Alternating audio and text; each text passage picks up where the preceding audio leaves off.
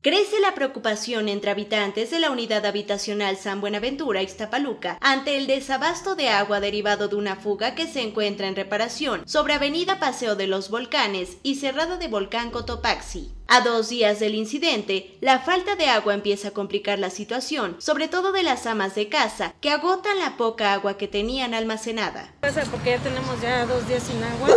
Digo, ya ve que nos están quitando el agua un día sí y un día no entonces resulta que el domingo no, no hubo agua y ayer amanecemos con la novedad de que cero de agua.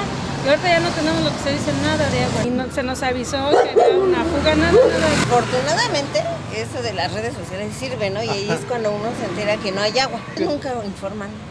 Ellos nunca informan.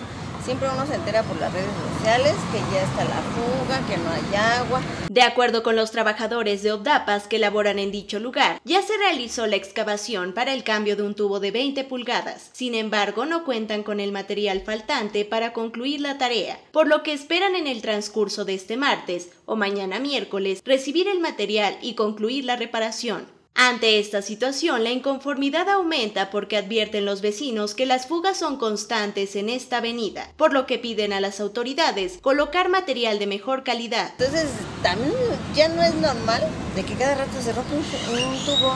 Tres meses para acá van tres tubos que se rompen. Por tanto, vecinos esperan que la reparación concluya en las próximas horas para no agravar la escasez y el ayuntamiento les brinde agua a través de pipas. Como se puede observar, existe un solo pozo para suministrar agua a los habitantes de San Buenaventura, por lo que entre más días pasen y las fugas continúen, el problema de desabasto será mayor. También lo hacen como negocio porque cuando ya no tenemos agua, la gente empieza a comprar las pipas. Entonces es un negocio para el municipio.